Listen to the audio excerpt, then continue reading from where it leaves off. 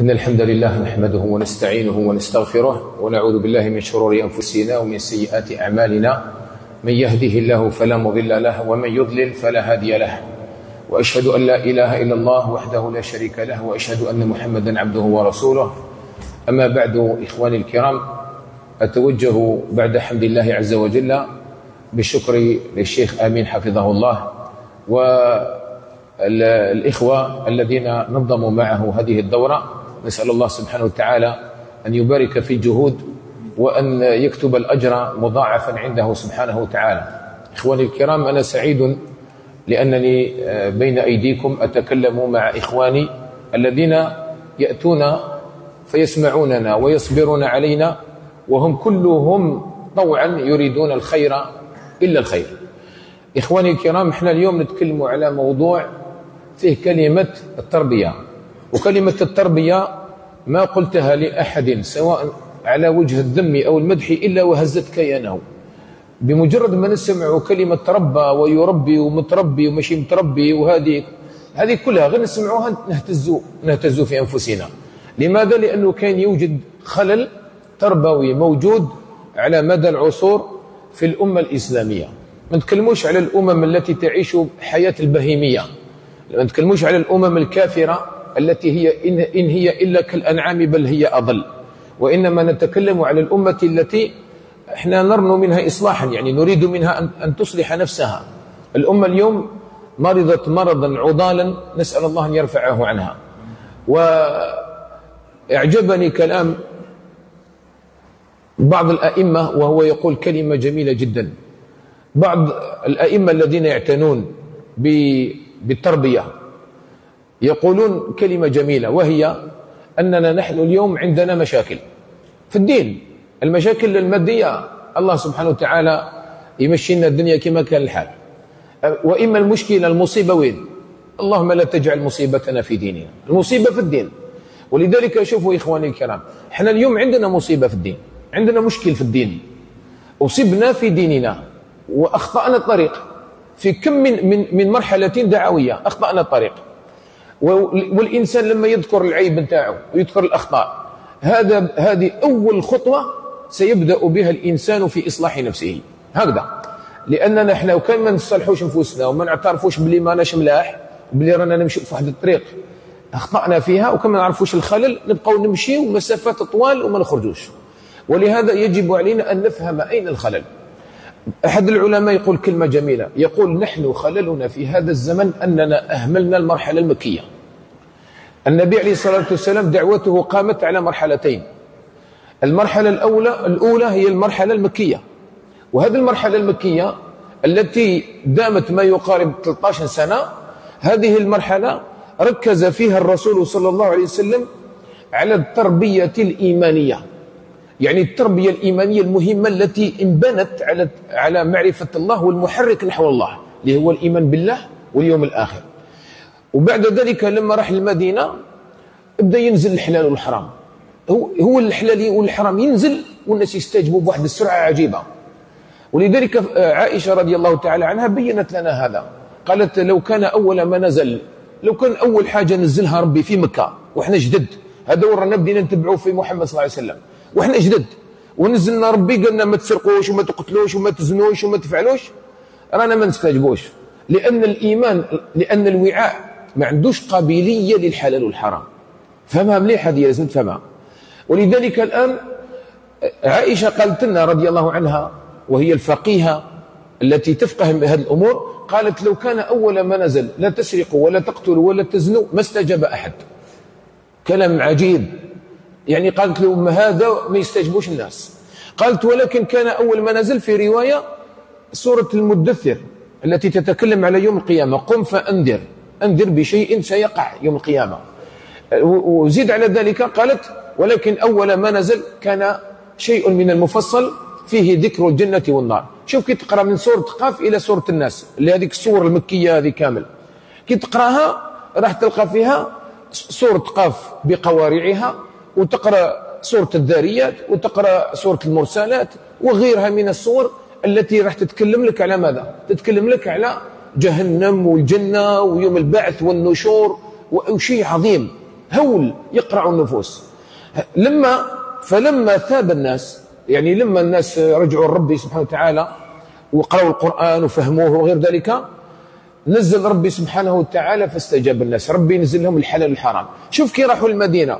وضربوا 13 سنة وهما يستمعوا في الكلام عن الجنة والنار. وعرفوا الله معرفة حقيقية.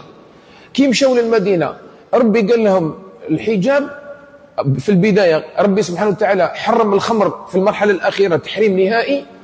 زقاق المدينة يعني الزرقات نتاع المدينة يسيلوا بالخمر. يعني حتى الإنسان عنده وش عنده؟ عنده ستوك عنده مخزن تاع خمر مخزن تاع خمر. وراح للنبي عليه الصلاة والسلام قالوا يا رسول الله إنها أموال أيتام. ومع ذلك ربي النبي عليه الصلاة والسلام قال له أهرقها أرميها. راح ورماها واستجب. ما قالش الله غالب هذه شريتها كي كانت حلال أرماها. لماذا؟ هذه هذه مش يسموها. مدى سرعة استجابة الصحابة رضي الله عنهم للحلال والحرام. شفت الآن الفقه لما جاء وتحط في مكانه. لقى نفوس واعية مستجيبة تقبل الحلال والحرام. الآن لما نزلت الحجاب الحجاب نزل اليوم. الصباح ربي المدينة نساء المدينة كل غربان الدنيا سوداء بالحجاب. مرة واحدة ما كاش واحدة تقول لك أني سنة مازال مانيش قانعة. ما كاش.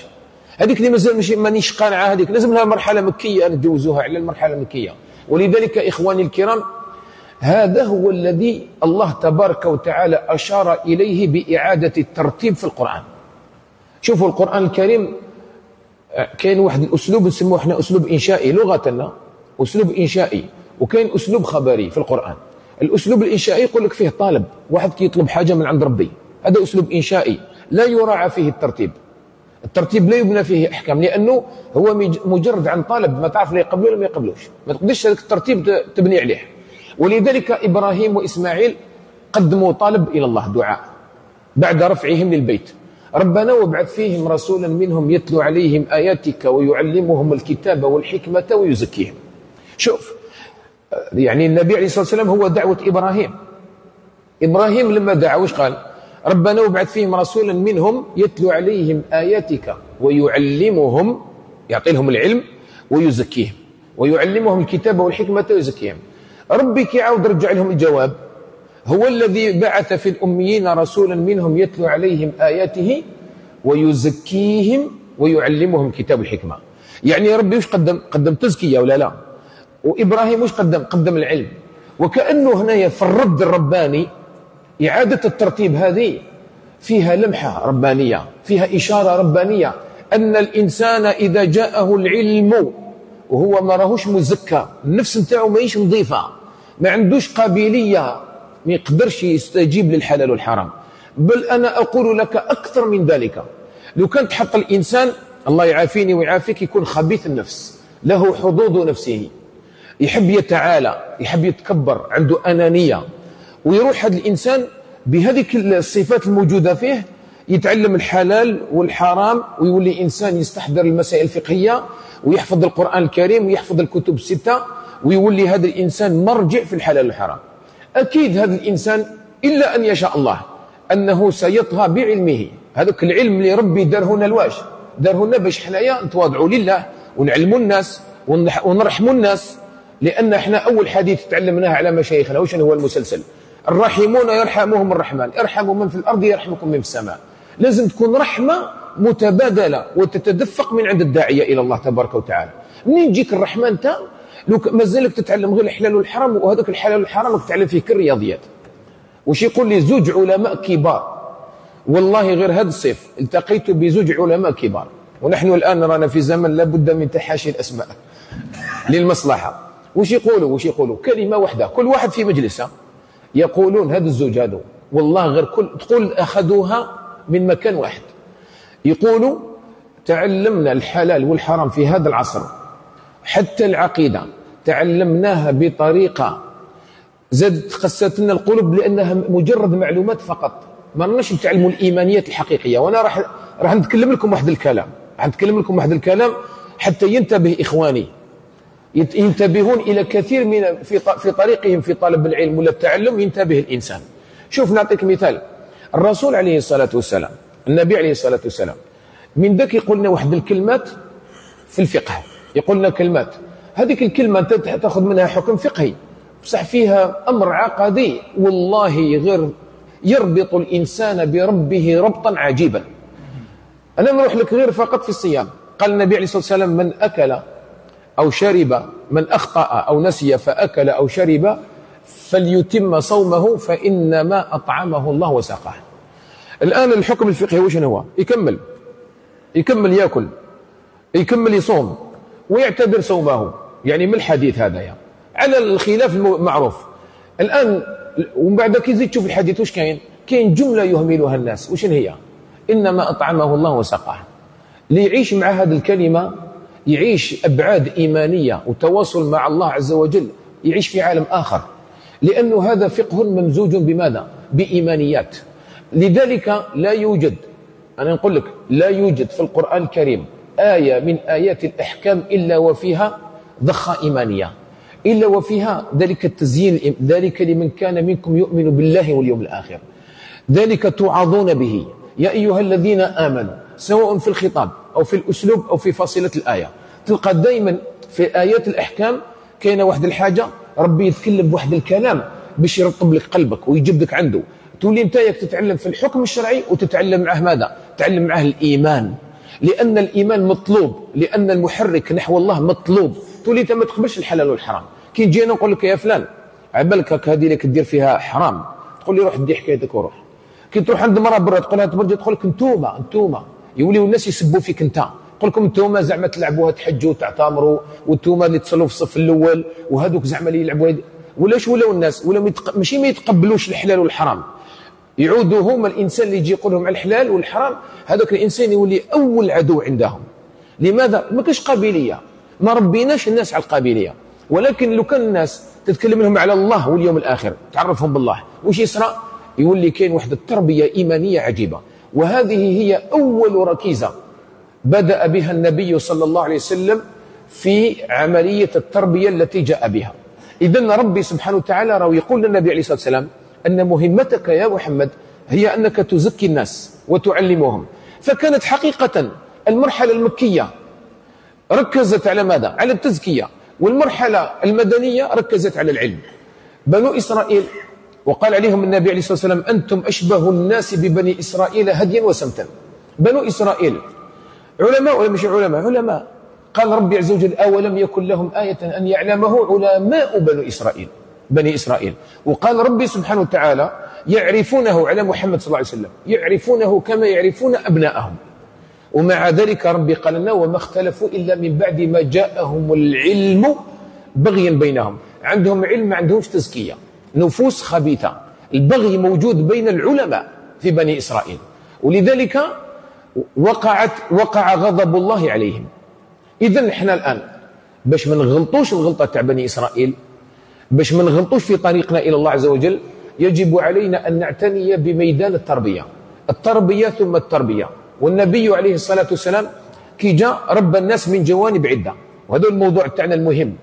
رب الناس من جوانب عدة. حتى يؤدي الرسالة والمهمة التي بعثه الله عز وجل من أجلها. كاين بزاف ناس يجي يقول لك إن الأنبياء جاوا دعوا إلى التوحيد. نعم هذا العنوان العام. هذا العنوان العام. ومن ذا الذي يقول غير هذا؟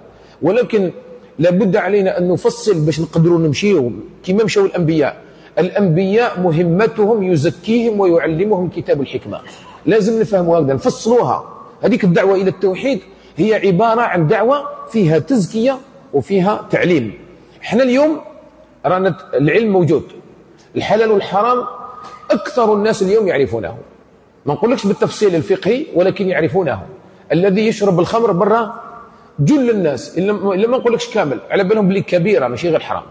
والمرأة المتبرجة برا عارفة بلي دير في كبيرة والإنسان اللي يأكل في الربا عارف بلي يرتكب في الكبيرة واللي يتوه في المخدرات نفس الشيء واللي تارك الصلاة نفس الشيء وهلم جرا إذا أين الخلل؟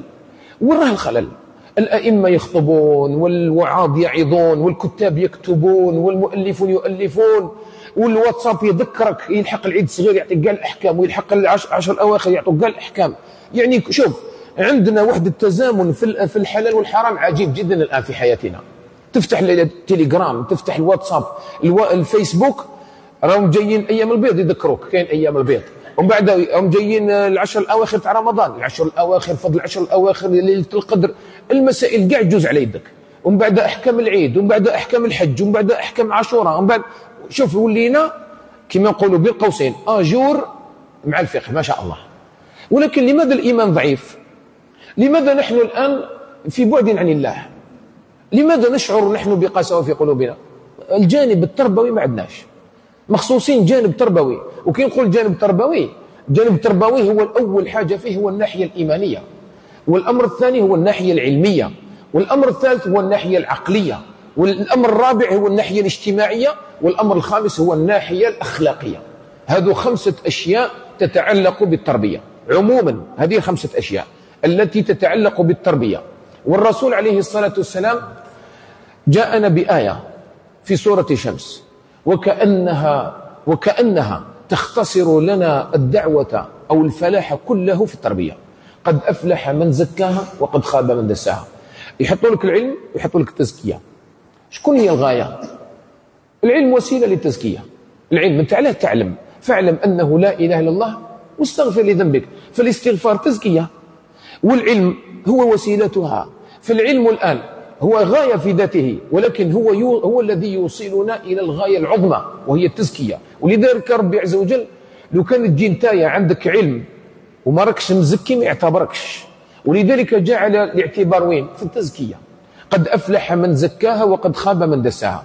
هو الذي بعث في الأميين رسولا منهم يتلو عليهم آياته ويزكيهم ويعلمهم. وهنا يقول لك قد أفلح من زكاها وقد خاب من دساها. وكأنه يقول لك هذه كلها النهاية أن يكون الإنسان ذا نفس زكية. وهنا إحنا نعرف قيمة التربية التي ينبغي لنا أن ننتبه إليها. وإحنا بصفتنا دعاة بصفتنا ناس نريد أن نعبد الله. بصفتنا نريد أن نستقيم على طاعة الله. ونريد أن نثبت على تلك الاستقامة. وبصفتنا ناس طماعين في ربي باش يتقبل منا. أي حركة درناها لله سبحانه وتعالى. وطامعين في ربي عز وجل أن الله يعفو عنا في كل حركة لا يرضاها الله. إذا ما دام نحن طماعين وحابين في الخير يجب علينا أن ننتبه إلى منهج الرسول عليه الصلاة والسلام في التربية. لأنه هذاك المنهج اللي ربى به الناس هو نفسه نربي به الناس بركة هو نفسه. هو, هو نفس الطريقة. ولهذا أول حاجة درها النبي عليه الصلاة والسلام ما هي؟ أنه بدأ يعلم الناس. الإيمان بالله تبارك وتعالى. الإيمان بالله إخواني الكرام فرق ما بين أنك تتعلم الإيمان بالله لتحكم على الناس والإيمان بالله لتتعرف على رب الناس. هما الاثنين مطلوبين في اثنين مطلوبين. ولكن أنت الآن أهم حاجة تحتاجها وش هي؟ كاين حاجة التي لا يجوز أن تهملها وهي الإيمان الذي يعرفك على الله. كاين كاين حوايج في العقيدة. نقراهم إحنا في الكتب تاعنا. كتب نظرية في العقيدة ولا ولا يزهد فيها. مهمة كتب هذيك. وهي كتب يعني كثير منها المنطلق نتاعو هو عبارة عن رد على فرق ضالة في إثبات الصفات والأسماء وغيرها. مهمة هذه. ولكن الذي هي أصل قبل هذا كله وش هي؟ أن نتعلم نحن العقيدة الصحيحة بالطريقة اللي علمها النبي عليه الصلاة والسلام. يعني الجانب النظري والتطبيقي الذي يسري في نفوسنا. خلاصة الكلام باش تفهم أنت ونفهم أنا هو أن العقيدة المطلوبة أولا قبل كلش ولا أزهد في جانب من الجوانب منها الأولى كاملة واللي لازم تتلقي بها ربي عز وجل هي العقيدة التي تربطك بالله اللي يسموها إحنا الإيمان المصطلح النبوي. الإيمان بالله. وشنو هو الإيمان بالله؟ وشنو هو الإيمان بالله عز وجل؟ الإيمان بالله تبارك وتعالى هو ابتداء في معرفته. ولذلك الرسول عليه الصلاة والسلام شوف الجانب النظري الذي ركز فيه على ترسيخ العقيدة في النفوس وترسيخ الإيمان في النفوس هو ربط الناس بالله. قال لمعاذ بن جبل يا معاذ إنك تأتي قوما أهل كتاب فليكن أول ما تدعوهم إليه أن يوحدوا الله وفي رواية أن يعرفوا الله وفي رواية فإنهم عرفوا الله. يعني يا معاذ أي كان واحد الركيزة لو كان ما ديرهاش في الناس غير ما كان تقول لهم الحلال والحرام.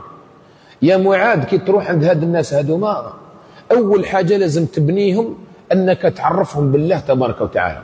كيف نعرف الله؟ كيفاش نعرفوه؟ نعرفوه بوصفه هو لنفسه. وصف النبي عليه الصلاة والسلام له. هذيك المعرفة الحقيقية التي النبي عليه الصلاة والسلام جسدها في عبارات واحدة أخرى.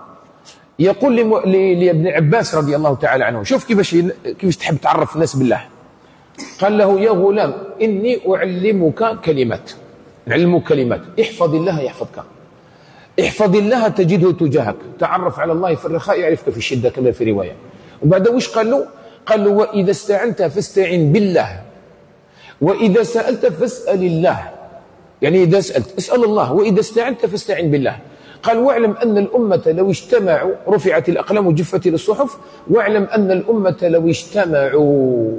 وفي رواية لو اجتهدوا على أن ينفعوك بشيء لا ينفعوك إلا بشيء قد كتبه الله لك. ولو اجتمعوا على أن يضروك بشيء لا يضروك إلا بما كتب الله لك. إذا شوف الآن هذاك ابن عباس قال هو صغير سبع سنين أو صغير طفل صغير علموا الكلام هذا. كبر عبد الله بن عباس ومات الرسول عليه الصلاة والسلام. وجاء بعد ذلك الخوارج في عهد علي بن أبي طالب الذين استباحوا دماء ناس. شكون اللي راح؟ كثير من الناس واحد ما قدر يدنا ولا يتكلم معاهم. شكون اللي راح؟ عبد الله بن عباس. هو الذي حاورهم. هذيك النتيجة هذيك تاع عبد الله بن عباس والحنكة في طريقة المحاورة تاعو. منين جات؟ جات من يا غلام اسأل الله إذا سألت فاسأل الله وإذا استعنت فاستعن بالله. واحفظ الله يحفظك واحفظ الله تجده تجاهك. هذيك الربطة هذيك. بالله اللي غرسها له في الصغر لقاها في شخصية عظيمة إيمانية في الكبر. وهكذا تربى الصحابة رضي الله عنهم على لسان رسول الله صلى الله عليه وسلم. وكان من سرده وتعليمه النظري في الإيمان أنه جاءه جبريل وقال يا رسول الله ما الإسلام؟ فقال الإسلام أن تشهد أن لا إله إلا الله وأن محمد رسول الله. وأن تقيم الصلاة وتؤتي الزكاة وتحج البيت وتصوم رمضان. وقال في ما الإيمان؟ سأله عن الإيمان فذكر له الأركان الستة تؤمن بالله وملائكته وكتبه ورسوله واليوم الآخر وبالقدر خيره وشره. وقال النبي عليه الصلاة والسلام بعد ذلك لما سأله عن الإحسان قال أن تعبد الله كأنك تراه فإن لم تكن تراه فإنه يراك. هذا هو المربط هنا. لو كان ما تفهمش كأنك تراه ما تفهمش واش معناتها الإيمان. فهمهاش علاه لأنه هذيك هي الغاية اللي باش توصل لها أنت. طريق تاعها شكون الإسلام والإيمان. قالت الأعراب آمنا قل لم تؤمنوا ولكن قولوا أسلمنا. الدرجة الأولى الإسلام. راك بديت غير تصلي أنت. بديت تصلي. مازال ما بديتش تعرف ربي. تصلي تدخل مع الناس تلاقي الناس تصلي توضا يقال لك الصلاة ما شاء الله تدخل الجنة وتطفي غضب الرب. كي تولي تصلي خلاص ربي يولي ماشي غاضب عليك. ومن بعد واش كاين؟ كاين صدقة. بصح هذو يملك تمد فيهم. وين راك رايح. أني رايح الجامع. إيه علاك رايح الجامع. راني رايح لله. الله عز وجل عجلت إليك ربي لترضى. شوفوا بعد تولي تولي تتعرف على الله. بأسمائه وصفاته ونعمه في حياتك اليومية. التوحيد العملي اللي راح نتكلموا عليه الآن. هذا كامل يولي يقربك من الله عز وجل كأنك تراه. ماشي؟ كأنك تراه تجسده بين عينيك. تتخيله لا لا. كأنك تراه. يعني من كثرة معرفتك بالله صرت كأنك تراه فوليت عندك عبادة راقية. ولذلك أنت من كثرة العبادة واش تولي دير؟ وكان أنا كان نبداو نقصروا في الجماعة ونحكيو على واحد. ونقولوا لك هذاك الإنسان يا خويا واحد الإنسان تعرفنا به ما شاء الله. إنسان طيب. وشباب والخلقه تاعو الله يبارك. واش من طول؟ واش من عرض؟ واش من خير؟ واش من وجه؟ واش من عينين؟ الأوصاف الخلقية. ومن بعد الخلقية إنسان كريم ما شاء الله بخال في إنسان صدوق ابتسامة ما تخطيش من وجهه صبور تأذيه ما يدير لك والو رحيم ما شاء الله. أنت كي تسمع هذا الكلام واش ديرنا قلنا والله غير هذا الإنسان اللي حاب يشوفه اليوم قبل غدوة. تشتاق إليه لماذا؟ لأنك سمعت أوصافا كثيرة. هذيك الأوصاف جذبتك نحو ذلك الإنسان شوقاتك باش تشوف الإنسان. هذا في الإنسان. الله له المثل الأعلى. نحن الآن لما نتعرفوا على الله تعرفوا عليه بزاف. والتعرف على الله هذا له باب طويل هذا هذا محاضرات ماشي محاضرة. كي نتعرفوا على الله بزاف. نعودوا نشتاقوا له ونحبوه. ومن بعد تولي نتايا الداخل البشرية تاعك تكره الموت. والإيمان تاعك يحب لقاء الله. شفت واش يصرى؟ تولي انت في البشر كبشر انت بصفتك بشر تولي تكره تموت. لأن بشريتك هذه هي. وأينا لا يكره الموت. ما كاش واحد. عادي. بصح في نفس الوقت إيمانك يريدك أن تلتقي بالله. وعلى تختار تقول الرفيق الأعلى تحب تروح تلاقي ربي عز وجل. كي تغلب الإيمان. هذا هو اللي قال عليه النبي عليه الصلاة والسلام كما قال ابن القيم هذا هو من أحب لقاء الله أحب الله لقاءه. قال ابن القيم يتعرف العبد على ربه رويدا رويدا حتى يلحق لدرجة يشتاق شوقا إلى الله. ويولي لسان حاله كما قال موسى وعجلت إليك ربي لترضى. ويولي الإنسان يحب ربي عز وجل. قال ابن القيم وهذا هو الذي يهون الموت عن المسلمين. هذا هو اللي يهون الموت وهو معرفة الله. يعني كي تموت ما تخلص عليك الحالة ولا تروح في حفرة. أنت كي تموت تروح عند الله. عند من تروح؟ عند رحيم سبحانه وتعالى. فتعرفوا به. هذا بالنسبة للجانب النظري أمثلة يعني قليلة جدا بالنسبة للجانب النظري تاع النبي عليه الصلاة والسلام. في التعريف بالله الناحية الإيمانية. وعرف النبي صلى الله عليه وسلم وغرس الإيمان في نفوس الصحابة عمليا. وهذا هو التوحيد العملي الذي أدندن عليه دائما في دروسي حتى يرسخ في أذهاننا ويجب علينا أن يمشي في تربيتنا لأولادنا. وهذه من هذه من أعظم من أعظم ومن أبرز معالم التربية عند الرسول عليه الصلاة والسلام. التربية الإيمانية بالذات. كان النبي عليه الصلاة والسلام يعامل أمة جلها لا يقرأ ولا يكتب. اسمع مليح. كانوا الصحابة قال إن أمة أمية لا نقرأ ولا نكتب. اللي كانوا الناس؟ الناس كما حفصة مثلا زوجة النبي عليه الصلاة والسلام عبد الله بن عمرو بعض الصحابة أبي هذو الناس اللي يعرفوا يكتبوا. إقلال حاجة قليلة اللي يعرف يكتب. الباقي واحد ما يعرف يقرأ ولا يكتب. ما يقرأوش ولا يكتبوا ما يعرفوش. الرسول عليه الصلاة والسلام كيفاش خرج لنا ناس بهذيك القوة الإيمانية؟ كيفاش هذو الناس ما يقراوش وما يكتبوش؟ ما عندهمش كراريس يكتبوا ينقلوا عن النبي عليه الصلاة والسلام. كيف كيف خرج لنا أمة كي تنزل في ساعة في ساحة الميدان تعطينا براهين عجيبة جدا. هذيك الأمة يا إخواني الكرام كاين واحد الحاجة يسموها التوحيد العملي الذي أربي به أبنائي وتربي به أنت أبنائك. وأربي به نفسي وتربي به أنت نفسك. ولازم يسري في المجتمع في كل لحظة يمشي معك في كل وقت تاخذ كل يوم دروس في التوحيد. كيف هذا؟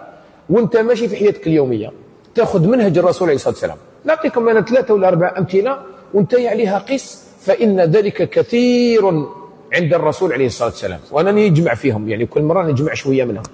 شوفوا نعطيك مثال. الرسول عليه الصلاة والسلام من ذاك تكون لقطة صارت في الحياة. لقطة. أنت تشوف فيها لقطة بشرية نورمال عادي. بصح النبي عليه الصلاة والسلام لازم يجيب منها موعظة ويربطها لك بالله عز وجل. الصحابة شافوا القمر القمر. شافوه بدر. شو القمر يضوي؟ كامل بدر. شباب ما شاء الله. وحنا ممكن نزوميوه نصوروه ما شاء الله. شباب ما شاء الله يضوي ليلة مقمرة الله يبارك حاجة مليحة. إحنا عندنا النظرة البشرية تحبس هنا. الرسول عليه الصلاة والسلام هذا هي اللي نسموه إحنا الآلاء والآيات إنما هي عبارة عن دليل على الله. تدل على الله. قال لهم هكذا ترون ربكم يوم القيامة لا تضامون في رؤيته. يعني الصحابة قاعدين والنبي عليه الصلاة والسلام قاعدين. في الصحراء الله الله كذا ويشوفوا في القمر والقمر اللي بدر حاجة شابة. بصح النبي عليه الصلاة والسلام ما خلاهاش غير في حاجة شابة برك. نقلها إلى ماذا؟ توحيد عملي. يعني تولي انت في أي حركة في الحياة علم الصحابة أنهم ينتقلون إلى درس من دروس التوحيد. يعني الصحابة قالوا هكذا يا رسول الله قال لا تضامون في رؤيته. فمن فمن استطاع منكم أن لا يغلب على صلاتين فليفعل. شوف الآن راحت حكاية واحدة أخرى كاملة. يعني كنا في القمر ولينا الآن رانا مع النبي عليه الصلاة والسلام تكلم منا على رؤية الله يوم القيامة. وأننا سوف نراه ولا نتزاحم. ما نتزاحموش كما نشوفوا القمر. ما نطبعوش باش نشوفوا القمر. كل واحد في بلاصتو يشوف. هكذا نرى ربنا يوم القيامة في نسأل الله عز وجل يحرمنا وإياكم. اذا شوفوا النظره تاع النبي عليه الصلاة والسلام. من نظرة إلى القمر عطى لهم درس. نفس الشيء فعل مع الشمس وهي تغيب. غروب الشمس جميل. نتصوروا معه إحنا. كل شيء تصور حاجة شابة. النظرة البشرية تنتهي إلى جمال جمال هذيك سقوط الشمس. شابة. مع البحر ولا مع الصحراء ولا ما شاء الله. ولا مع الجبل. هذا مكان.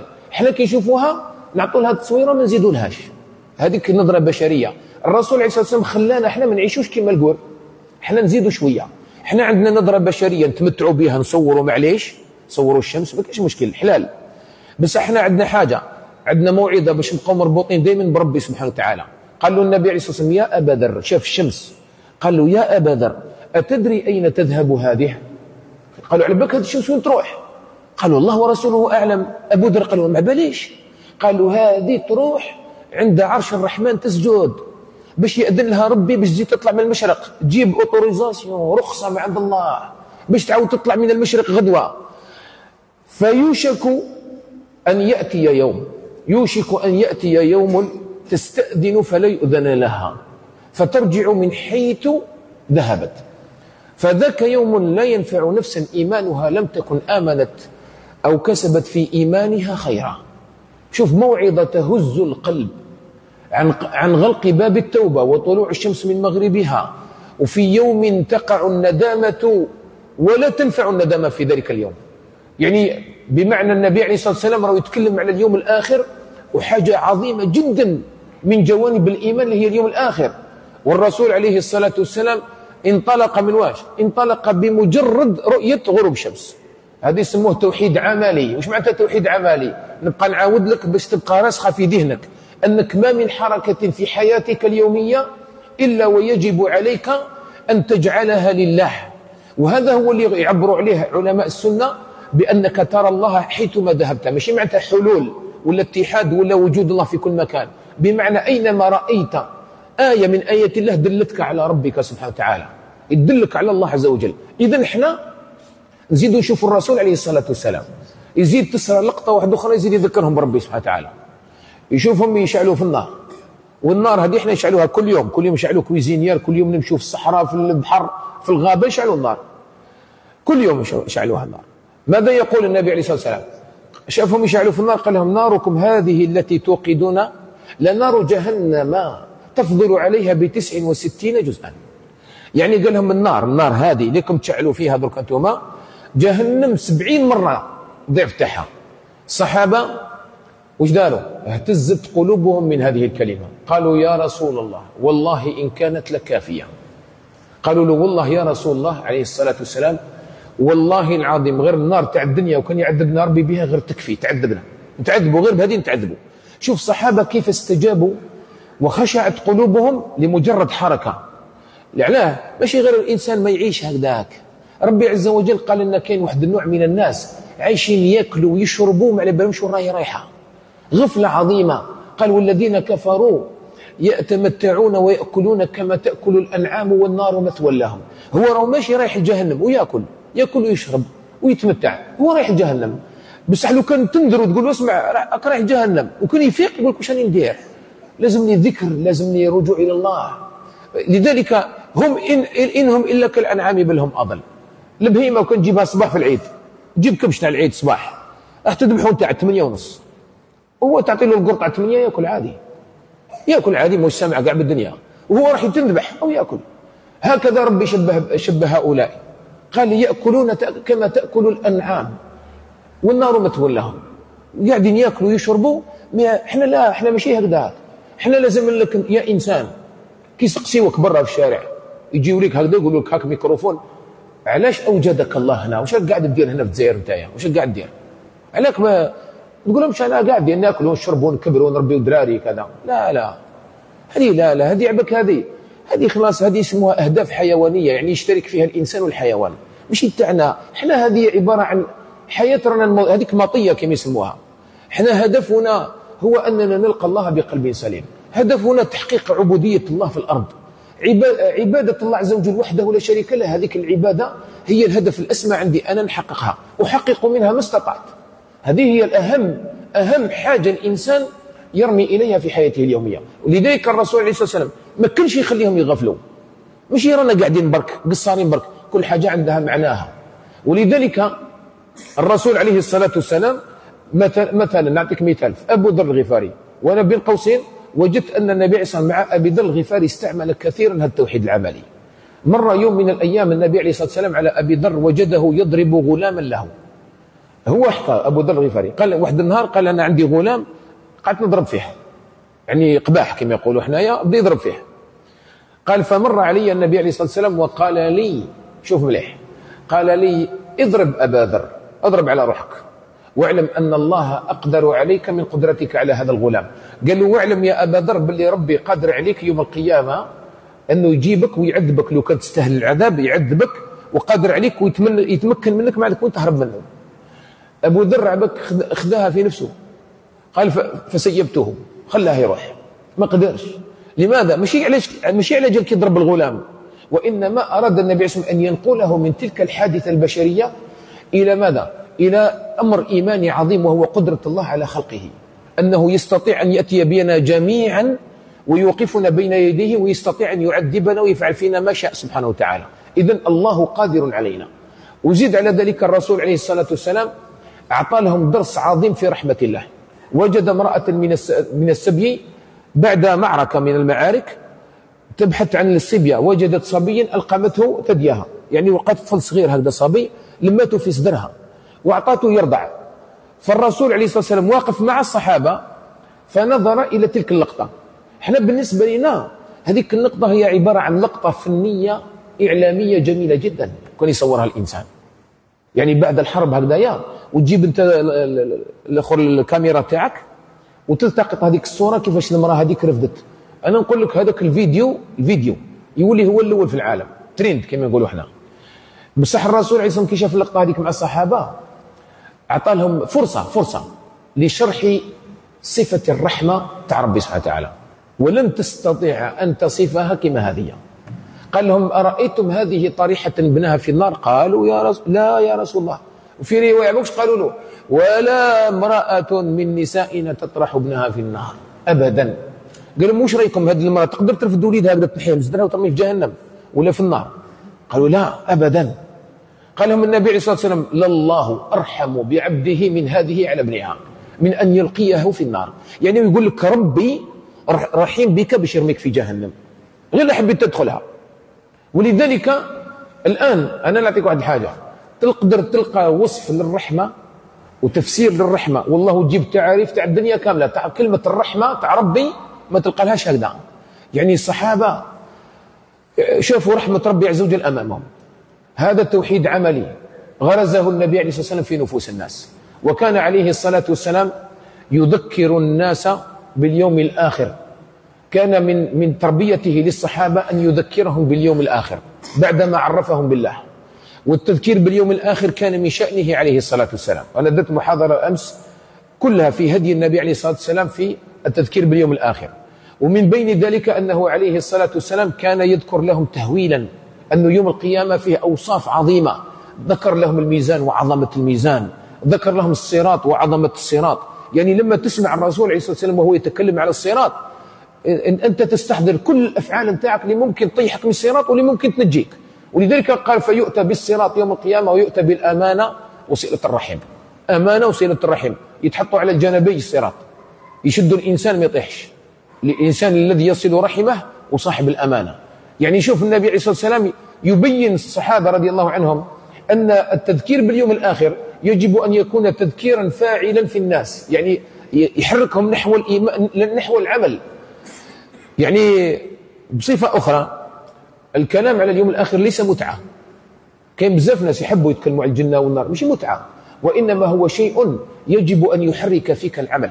ولهذا لما جاء واحد يسأل الرسول عليه الصلاة والسلام قال له يا رسول الله متى الساعة؟ وش قال له النبي عليه الصلاة والسلام؟ وما أعددت لها. هذا هو الصح. أنت كمطالب ماشي وقتاش. كمطالب وش وجدت لها. لذلك النبي عليه الصلاة والسلام كان ماذا يفعل؟ كان يحث الناس ويذكر لهم ما يحركهم نحو العمل في اليوم الآخر. ولهذا كان يذكر اليوم الآخر ويذكر معه الأعمال التي تنجي والتي تغرق صاحبها في نار جهنم. ومن أمور كثيرة في الترغيب والترهيب في اليوم الآخر وذكر الجنة وذكر النار. يعني وصفها لنا حنظلة قال تذكر لنا الجنة كأننا نراها رأي عين. يعني من قوة اللي كان يشرح لهم الجنة والنار قال له حنظلة كأننا كنا نشوفوه الجنة قدامنا. دقة الوصف تاع الرسول عليه الصلاة والسلام. وهذه دقة الوصف هذه إخواني الكرام ليحدث التصور لأن التصور اليوم الآخر الدقيق هو المحرك نحو الله. شوف نعطيك حاجة. إنسان ما يصليش. أنت حبيت تهديه إلى الصراط المستقيم. وحبيت تقول له روح تصلي. وش يحركوا الصلاة وش يخلي الإنسان اللي كان يلعب برا ويتفرج في الأفلام ومتكسل في دارهم وكان حلات له الدنيا برا يلعب وعنده بزاف أمور يتعيط له برا وشهوات. وش يخليه يحافظ على خمس صلوات في اليوم الليلة حتى يموت. ما عنده عطلة ولا يتوقف ولا نهاية الأسبوع ولا شيء. كل يوم خمس صلوات كل يوم. وش يخلي الإنسان يثبت على هذا؟ لو كان ماشي اليوم الآخر. لذلك كان يقرنه الله من كان منكم يؤمن بالله واليوم الآخر. من كان يؤمن بالله واليوم الآخر فليكرم ضيفه فليقل خيرا وليصمت فلا يدخل حليلته الحمام فلا يدخلن الحمام إلا بذي ساتر أو بذي مئزر. كلها هذه من كان يؤمن بالله واليوم الآخر. إذا يؤمن بالله نعمل العمل لله واليوم الآخر المحرك الذي يحركني نحو الله. يعني ما كاش حاجة تحركك نحو العمل كما اليوم الآخر. لذلك كان النبي عليه الصلاة والسلام يذكر اليوم الآخر كمحرك هذا محرك. يحركك نحو الله تبارك وتعالى. ولهذا انت كنت تجيب الإنسان هذاك اللي ما يصليش وتقصر معاه السمانة ما تجبدلوش الصلاة. والو احكي له قول له شوف والله غير حبيت أنا وياك نديروا قصرة ونحكوا على واحد الموضوع ما شاء الله تتمتع كي تسمعوا راح نحكي لك من نهار يموت الإنسان حتى يدخل الجنة ولا النار. أنا أحلف لك إلا إذا كان ربي حبس له الهداية. والله غير وحده يقول لك اسمع وريني كيفاش يصلوا. وحده علاه راح يشوف المصير تاعو. ربي عز وجل لما أراد أن يحرك النفوس في آيات تاع الأحكام قالوا واتقوا الله الذي إليه تحشرون. ترجعون. إليه مرجعكم جميعا. يعني كي تقول واحد نهايتها الوقوف بين يدي الله يحبس يعاود يرجع الأعمال تاعو. لأن إحنا علاه نطغاو. نطغاو لسببين اثنين. الطغيان الأول هو أن تستغني عن الله أن رآه استغنى. والأمر الثاني وش هو؟ ننساو اليوم الآخر. ننساو. ننساو كل واحد فينا راهو يطغى فديك اللحظة تاع الطغيان راح ينسى باللي راح يوقف بين يدي الله. حفاة عراة كما ولدتنا أمهاتنا. ينسى. كي ينسى وش يدير؟ يعق والديه يظلم الناس يسب الناس يفعل ما شاء يترك الصلاة يفعل كل شيء. نتيجة ماذا؟ النسيان الغفلة. هذه هي التي فعلت بنا هذا. اذا إحنا اليوم النبي عليه الصلاة والسلام كي تاملوا في في في طريقته في التذكير باليوم الآخر أن تذكيره لليوم الآخر ليس مجرد تذكير تاع متعة وإنما من أجل الدفع الدفع بالناس نحو العمل. ولهذا قالوا وما أعددت لها. ولهذا ذكر النبي عليه الصلاة والسلام صاحب الزكاة. ذكر لهم العذاب يوم القيامة. قال يأتيه حيه تأتيه. يعني شجاع أقرع. يأتيه يقول له أنا مالك أنا كذا أنا كنزك. يعني هذا كامل واش حكم شرعي وهو حكم ترك الزكاة يديك الجهنم يعطيك تصويرة في جهنم يعاود يجيبك. علاه علاه دنا جهنم ورانا عاود جابنا علاه حتى يحدث الترهيب. وعلاه النبي عليه الصلاة والسلام ذكرنا في اليوم الآخر وأعطانا هذيك الموازنة حتى يحدث الزهد في الدنيا والتعلق بالجنة. قال لنا لمناديل يلقى الصحابة وش لقاه؟ لقاهم يمسوا في واحد الحرير جاء من عند الروم. بعت لهم قطعة من من قماش. حرير حرير حرير, حقيقي طبيعي. الصحابة حكموها كامل يمسوا فيها؟ يعني ما ألمسها شحال لمسها؟ قال لهم النبي عليه الصلاة والسلام أعجبتم من هذه؟ قال لهم خلعتكم هذه؟ قال لهم لمناديل لمناديل سعد بن معاذ في الجنة خير مما طلعت عليه الشمس يعني شوف اسمع مليح. يعني المناديل تاع سعد بن معاذ منديل خير مما طلعت عليه الشمس. يعني خير من هذه لك في يدك أنت. يعني باش يبين لهم بأن الجنة أي حاجة كبيرة ماشي كيفاش تصور أنت. وتتعلق النفوس بسماع هذه الكلمة وتزهد في الدنيا. تخليها الدنيا. تولي ما تتعاركش على جالها. تولي ما تقتلش على جالها. تولي ما تهجرش على جالها. تولي ما تسرقش وتخطف على جالها. لماذا؟ لأن نفس الإنسان متعلقة باليوم الآخر. تصور تصور معايا أنت. لو كان جينا حنايا نستحضر اليوم الآخر في كل أيامنا وليالينا. كيف يكون التغافل والتسامح وغض الطرف والتجاهل وكل واحد والتراحم فيما بيننا؟ كيف يكون حال الناس؟ حال الإنسان الذي اعتاد السرقة واعتاد الصلاة ترك الصلاة واعتاد عقوق الوالدين. كيف يكون حال الإنسان؟ يفكر في اليوم الآخر. وأنا نعطيك مثل برك ونمشي النقطة الأخرى باش ما نطولش. نعطيك مثال في مدى تأثير اليوم الآخر في في عبادة الإنسان. شوف نهار إنسان يكون خارج طريق. جماعة كامل رانا في طريق ماشي مليحة. نتبلاو بنات الناس نشربوا الكاشيات نأقريسيو ونعملوا ونسهروا نديروا كل شيء. رانا كاع جماعة. فجأة مات واحد فينا. في عمره 22 سنة مات. خلعة كبيرة. أو كان معنا البارح. وش بيه overdose مات. الآن هذا الإنسان حنا نجوا للمقبرة. نروحوا عند الإمام ونجيبوا له النعش ونجوا وحنا كنا بايتين في حالة. أنا بايتين في حالة. وجينا لا صلاه لا والو. بعد ذلك النهار واش نديروا حنا نجوا نتوضاو نغتسلوا كذا منا نلبسوا قميص ونجوا نجيبوا صاحبنا ونجيبوا الجماعة ونصلوا ومن بعد الإمام كي يضرب طله سمانه كامله وحنا في الصف الأول معاه هنا. علاه لأننا رحنا طلينا على اليوم الآخر وجينا. شغل جا واحد قالنا إي راح تموتوا كيما هذا اسمعوا. عباكم بلي نهاية. هكذا. وزاد قال لنا رسالة واحدة أخرى شنو هي؟ أن الموت لا يختار يعني تقدر 22 سنة وتموت على بالك. ما تستناش ما تبداش هذيك شكون تتخمم شكون تضربك صفعه تقول يا مازلنا إحنا رانا نقولوا الزهو وكذا ونزهوا حتى ل 30 35 باش نبداو نتزوجوا بعد باش نبداو نديروا الدار. تسمى درنا واحد المرحلة قبل هي الزهو بلا زواج. ومن بعد نروحوا للزواج. تسمى رانا مبانيين مطولينها. ومن بعد 22 سنة مات. تسمى الحالة راهي صح. فصل ماشي هزل. انت واش دير تجي تجري. شو الصفعه ضرباتك. ومن بعد سرعان ما الإنسان نسأل الله يثبتنا جميعا على كل حال. سرعان ما كثير منهم كان يثبت. هذيك هي الطريق تاعو ما شاء الله يعاود يولي وكاين هذيك المرارة المرارة جابته وكاين اللي مسكين يعاود يولي يعاود يطلق الطريق لأنه نسى خلاص تناسى هذاك الموت وصاحبه نهار بدا الشوك وكذا نساها. بصح الآخر لا لا قعد. علاه قعدت هذاك اليوم الآخر ربي يوفقه دائما يتذكر يتذكر ومشى. في هذيك الطريق. نسأل الله يتوب علينا جميعا. اذا شوف أخي الكريم كيفاش كان الرسول عليه الصلاه يركز على واحد النقاط؟ وحنا أنا نقول كلمة يركز. يركز. وش معنى يركز؟ يجعلها هما له في حياته. لأنه مجالس الرسول عليه الصلاة والسلام وش يقولوا العلماء؟ يقولوا استقراء الأحاديث تدل على أن مجالس النبي عليه الصلاة والسلام إنما هي كانت مجالس موعظة ورهبة ورغبة. في صحيح مسلم قال هم ما جمعتكم لرغبة ولا لرهبة وإنما تميم بن أوس الداري قد أسلم. قال العلماء هذا فيه دلالة على أن الأصل كان يجمعهم الرغبة والرهبة. وحنظلة شرح لنا مليح. قال وكنا إذا كنا عندك تشرح لنا. قالوا تذكر لنا الجنة كان كأن رأي عين. وتذكر لنا النار كأن رأي عين. يعني النبي عليه الصلاة والسلام كانت جل مجالسه وش هي؟ يقعد مع الناس ويبدأ يذكر لهم الجنة والنار واليوم الآخر والميزان والصراط كذا. حتى يحدث هذه الكلمة اللي حبيتها توقع لك في فؤادك. حتى يحدث التصور المحرك نحو الله. شفت التصور؟ تتخيل لازم تغمض عينك تتخيل كاع الخطوات تاع اليوم الآخر. بالهول هذاك. لأن التصوير القرآني والنبوي ماشي هكذاك برك تفصيل تفصيل عجيب. ولنحضرنهم حول جهنم جثية. الأغلال.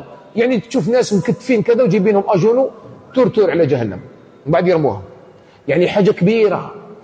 تصوير عظيم من الله عز وجل. وقال إذن يا شيخ. إيه. إذن هذا بالنسبة ماذا؟ التربية بالإيمان بالله عز وجل والتعريف به. التربية باليوم الآخر التذكير باليوم الآخر. وعندنا التربية يا إخواني الكرام وش هي؟ التربية بالعناية بالنفس الاعتناء بالنفس. يعني نجيبها لك بحاجة واحدة أخرى. أنك خليك من الناس. خليك من الناس من واحد البابة أو كان الناس يقولوا هذه الكلمة باش ينحيونا الأمر بالمعروف والنهي عن المنكر وينحيونا النصيحة. خليك من الناس من حيث تتبع عورات المسلمين. خليك من الناس من حيث ما صنعوا. يرحم والديك يا أخي الكريم. قال لك النبي عليه الصلاة والسلام من حسن إسلام المرء تركه ما لا يعنيه. وقال للمرأة هذيك اللي قالت له إنه في الجنة قال وما يدريك لعله تكلم فيما لا يعنيه. يعني يا رسول الله ما عليه الصلاة والسلام ما لا يعنيه ممكن تحجبوا عن الجنة. قال لك آه تكلم فيما لا يعنيه. دخل روحه في حاجة خطياته ومن ذاك ندخلوا روحنا بالتألي على الله. نحكم على الإنسان. باللي في جهنم ولا في خاطينا اللي تاع ربي سبحانه وتعالى. إحنا إن إحنا واش نديروا؟ ننذروا إحنا ننصحوا إحنا نأمر بالمعروف ونهوا عن المنكر. ما استطعنا إلى ذلك سبيلا. وماذا بينا حنايا ما نخلوا إنسان من البشر مهما كانت مكانته؟ ما استطعنا نصل إليه إلا أننا نمد له اليد ونجيبوها ونقولوا له ماشي هذيك هي الطريق إياك إياك إياك. هذه مهمتنا. بصح كاينة حاجة؟ يا خويا أنت يا دوك أنت بنيت ولا ريبت ولا طلقت ولا زوجت ولا عندك شريت سيارة ولا عندك دراهم في الدار ما عندكش ولا مخبيين في الم... أنا علاه. أنا علاه نعتني بك في الأمر هذا. أنا عندي أمور مهمة جدا لازم نعتني بها. أنا عندي حاجة أنت مسلم كما أنا ونتمنى أنك تكون خير مني والله يسهل عليك. وندعي لك بالخير عادي هذه القلوب النظيفة. هذا هو المسلم من حسن إسلام المرء تركه ما لا يعنيه نعم شيخ. آه آه آه خلاص. ماشي حاجة ماشي حاجة. وفيكم بارك الله.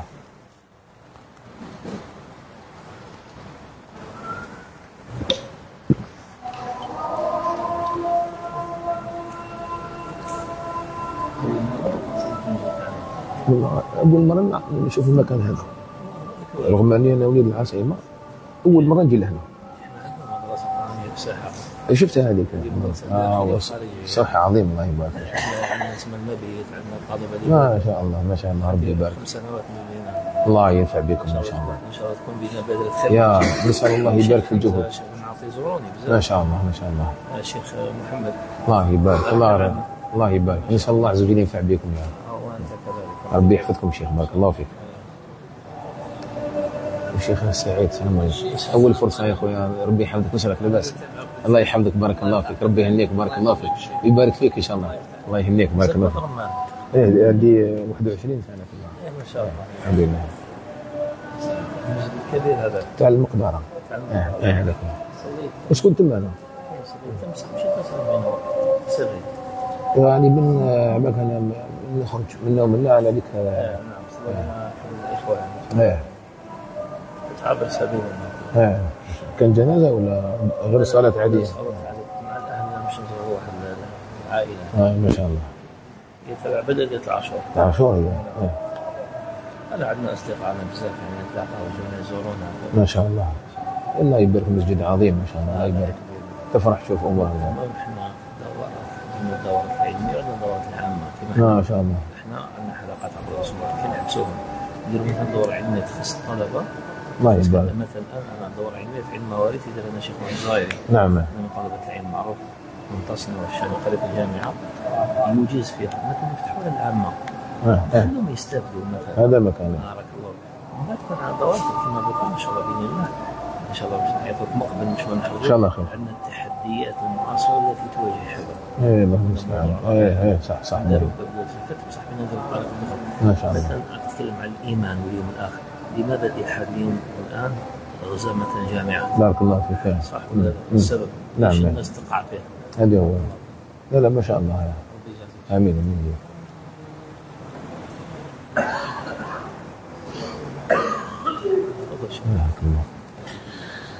إذا إخواني الكرام من وسائل تربية الرسول عليه الصلاة والسلام لأصحابه أنه كان يقول للناس لا تتبعوا عورات المسلمين يا معشر من آمن بلسانه ولما يدخل الإيمان في قلبه.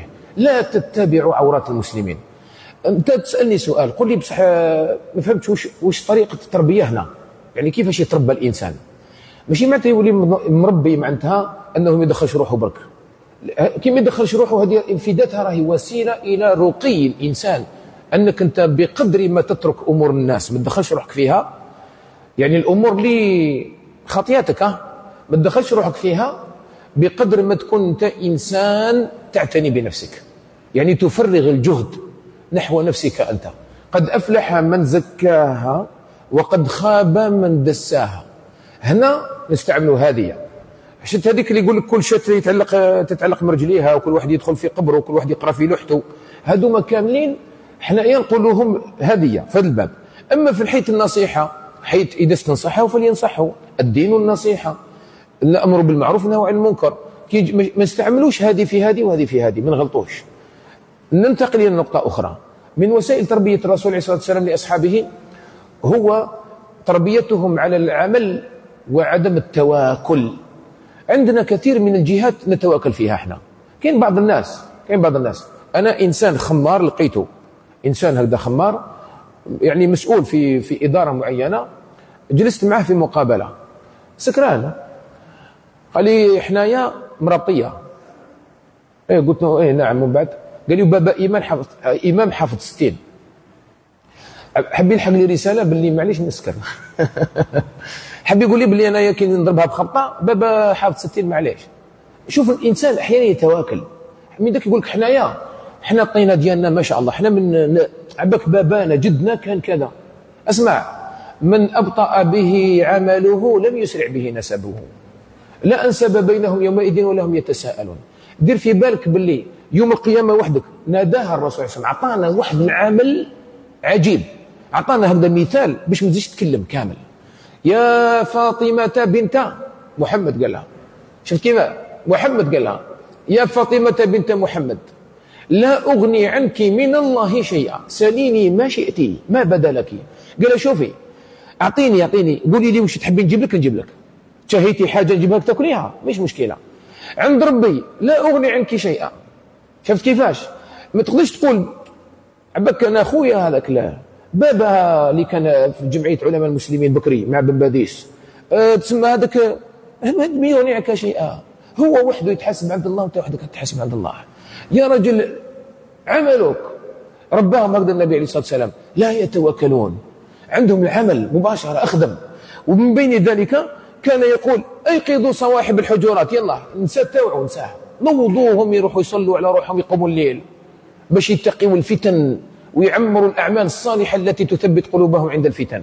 نوضوهم لأنهم سي... لأن نساء النبي عليه الصلاة والسلام راح يعيشوا عشرات السنين. راح يعيشوا عشرات السنين قرب 40 سنة بعد النبي عليه الصلاة والسلام عايشين. الآن راح يشوفوا الفتن. اذا رباهم ملتمة ملتمة. هو عايش؟ قال لهم نوضوا قوموا الليل بادروا بالأعمال فتنا كقطع الليل المظلم. اذا ما كاش إحنا عندنا في الدين تاعنا تواكل. تربية النبي عليه الصلاة تربي الإنسان على العمل. أنك أنت كما قال عليه الصلاة والسلام في البرمجة ماشي العقلية النبوية. البرمجة النبوية. وش قال؟ ثلاث كلمات. قال المؤمن القوي خير وأحب إلى الله من المؤمن الضعيف. وفي كل خير. احرص على ما ينفعك واستعن بالله ولا تعجز ولا ولا تقولن لو كان كذا لكان كذا. فإن لو تفتح باب الشيطان.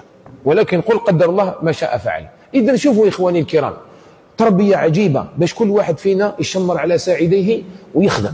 ما نقولش إحنا أمة محمد إحنا من القبيلة الفلانية إحنا لا لا اخدم. مباشرة. وأمر الآخر النبي صلى مربي عليه أصحابه وهو حب الخير للناس. وللخلق. حب الخير للناس. لذلك رفع لنا مستوى العمل العظيم إلى أن جعله أفضل الأعمال وهو إصلاح ذات البين. علاه إصلاح ذات البين أفضل الأعمال علاه لأنك أنت ما تصلحش ذات البين حتى تحب الخير للناس. ماكش نمام ما شاء الله. ماكش إنسان تريد الفرقة. رايح جايب هذاك وهذاك اللي عندهم عشرين سنة ما يتهدروش ورايح تجمع بيناتهم وما شاء الله. أنت إذا فيك الخير. ولذلك رغبك في إصلاح ذات البين حتى يبين للناس أن الحب الخير للآخرين هو أولى من العبادات. ولذلك وش قالنا؟ في, في, في مسألة التفاضل ماذا قال؟ خير الناس أنفعهم للناس. خير الناس أنفعهم للناس. حب تقول لي أنت خير مني. حب الخير للناس أكثر مني.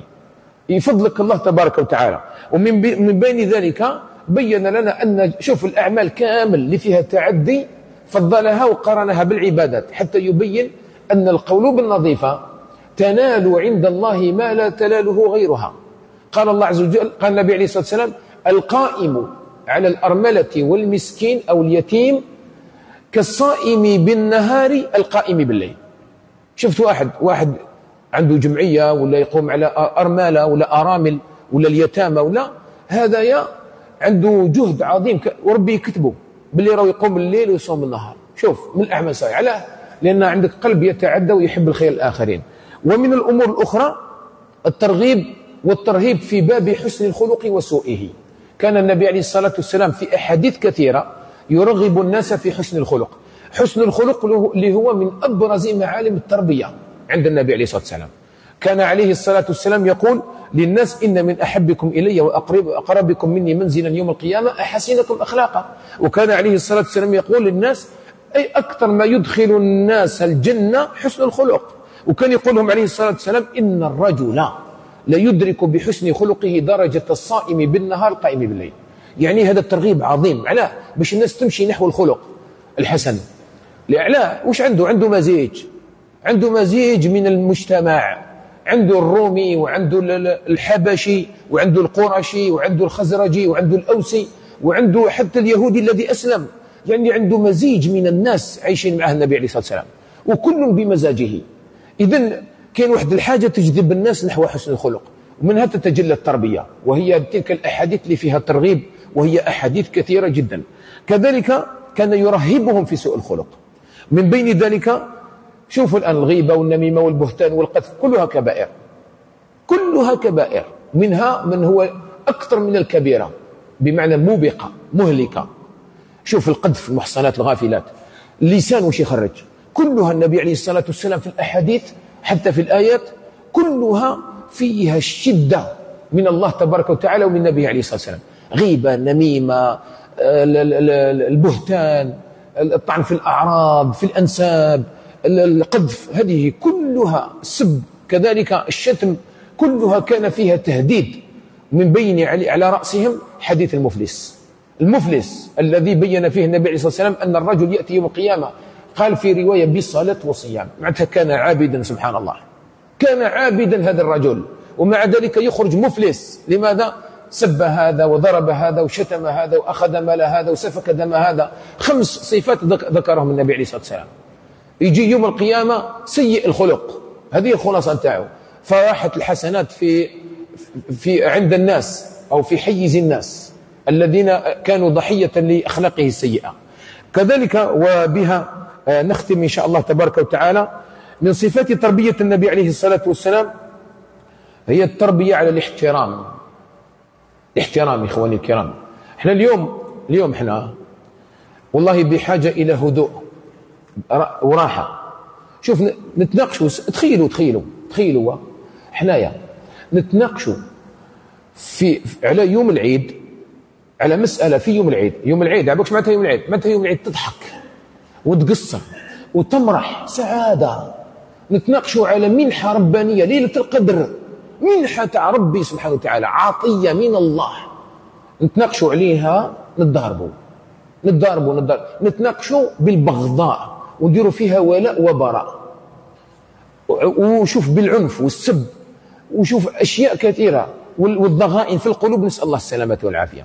ما جاءت مسألة من مسائل الفقه. لماذا نتخاصم بهذه الطريقة؟ إحنا بحاجة إلى راحة وهدوء. عندنا الفقه معركة. عندنا الكلام شوف كنت ناقشوا أنا وياك برا دركا نقصروا قصارينا نحكيو شكون طوموبيل مليحه هذه ولا هذه؟ نضربوا شكون ديازل ولا ليسونس خير؟ نضربوا أنا وأنت. علاه نضربوا علاه. يمكن نقاش علمي. أنت تستفاد مني أنا نستفاد منك. علاه ما عندناش الهدوء. نقول لك علاه لأنه ما كاينش احترام. الاحترام ما نحترموش بعضنا البعض.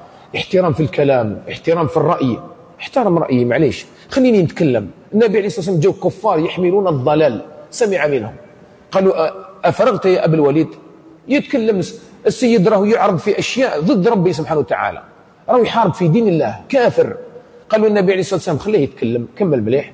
قالوا أفرغت يا أبا الوليد؟ قالوا نقدر نتكلم دركا إحنا والو نرفدوا صوتنا على البر نحن كما قال أحد الدعاة قال كلمة جميلة قال لي نحن بحاجة إلى هدوء. نرتاحوا شوية. وتكون في بيننا بيننا الرحمة الرسول عليه الصلاة والسلام بنى المجتمع على الاحترام. بكل فئاته ثلاث فئات. أنت أنت. دائما تكون ثالث الفئات. دائما عندك واحد صغير عليك وواحد كبير عليك. دائما عندك جيل تحتك وجيل فوقك. هذوك الأجيال هذوما النبي عليه الصلاة والسلام أعطى لك معلم تمشي به قال ليس منا من لم يوقر كبيرنا ويرحم صغيرنا. شفت كيف أعطاك. احترم. إنسان كبير احترم. احترم هذاك الإنسان وهذاك الصغير هذاك. ارحمه. أعطي له رحمة. ولذلك عليه الصلاة والسلام علم هذا ميدانيا. قال له يا غلام سم الله وكل بيمينك وكل مما يليك. وش معناتها كل مما يليك؟ كل مما يليك. معناتها من القصعه من القصعه نربيك تحترم الناس اللي قدامك. تتربى. ومن بعد تولي تتربى معاهم في stationnement في الفروج في la chaîne في المترو في كل مكان. تعود تحترم. من القصعة النبي عليه الصلاة والسلام دار انطلاقة تاع الاحترام والتربية. قال له وكل مما يليك. إيش معناتها كل مما يليك؟ عندها معنى كبير. تتربى عليها عندها معنى كبير. علاه. دوك حنا ناكلوا مجتمعين في قصعة. والاخ راه ياكل قدامي وهذاك الاخ ياكل قدامي والاخ الآخر ياكل قدامي. الآن عينه رمات الحاجة وحب يأكل من شيء معين. أنا نديها له من عنده. لا خليه يأكل هذيك الحاجة. وأنا نأكل من جهتي وأكتفي وأحرص دائما على أن أحترم غيري غيري. كي نتربى ويربيني بابا في الدار بهذيك الطريقة كي نكبر ويموتوا الوالدين نحترم الميراث نتاع غيري. حنايا من الصغر من الصغر نوالفوا ناكلوا غيرنا. نولفوا الناس ياكلوا أكثر. سمعت أحد المربين يقول يقول شوف خطأ تربوي خطأ تربوي بهذا نختم إن شاء الله. يقول خطأ تربوي وش يدير؟ الأولاد يجيب لهم مثلا الأب مثلا الموز يقسم لهم كل واحد يعطي له حبة حبة. والأم تدي حبة. ومن بعد واش يديروا؟ واحد من الولاد يكمل حقه يستنى يماه يماه واش دير تمد النص تاعها لواحد من ولادها علاه لأنه هذاك كلاو ما يشبعش. والآخرين ثاني كلاو. بصح ما طلبوش والفوا يحترموا حق حقهم. يكبر الاب الولد هذاك قالوا غالبا هذاك الولد كي يكبر هو اللي يكون ظالم في الميراث. والف يدي زيادة تربى عليها. تربى هو ما عجبوش هذيك العدس لازم تقيلو ستاكي هو. تربى لازم يديها لي من جهه الطريق. وبعد يقول لك أنا الحوانت في جهة الطريق أنا نديها. وهذيك الأرض الشابة هذيك أنا نديها. علاه لأن أنا ولفت ناكل ولفت تاكل العدس اسمها تربى من الصغر النبي عليه الصلاة والسلام هذه التربية هذه. من القصعة قالوا لا لا. طفل صغير قال كانت تطيش يدي يمين وشمالا صغير طفل صغير. قال له يا غلام سمي الله. عندك احترام مع الله لازم يكون. الأولى اللي يعطاك النعمة. والأمر الثاني كل بيمينك لنفسك انتايا والأمر الثالث احترم غيرك كل مما يليك. من ثم انتايا يكون منطلق يتربى الإنسان. وشوف الآن الصحابة كيف تربوا في هذاك العصر. لا تليفون لا والو. ولكن أخلاق عجيبة وجيل فريد من نوعه. نسأل الله عز وجل أن يرضى عنهم. هذا ونسأل الله سبحانه وتعالى أن يجمعني وإياكم في جنات الفردوس الأعلى كما جمعنا في هذا المسجد المبارك. نشكر للشيخ أمين على هذه الدعوة وعلى حسن الظن فينا. ونسأل الله سبحانه وتعالى يبارك في الجهود والله أعلم والحمد لله رب العالمين.